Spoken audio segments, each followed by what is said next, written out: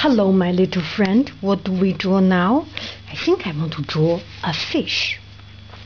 So, there is a big uh, mountain here, and another one goes up. Ooh, that's our fish. I want to draw a beautiful red fish. He has big eye and he's looking and he look if there's any big shark. Is he a happy face? Happy fish? I think he is a happy fish. Fish. So his mouth goes up and he has this little fin here. That's his head. He had scales, beautiful scales. Did you hear about the rainbow fish story?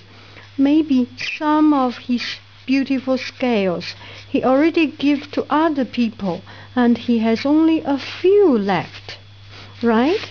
So here is the fin and on his back he has a fin on his tummy he has a fin also mmm our fish is finished now we put our fish in water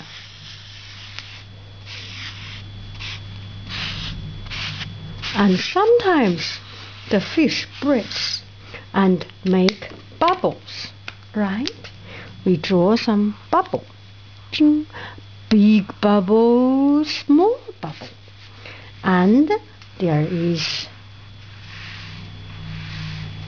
water, coral, and weed make our fish look so pretty.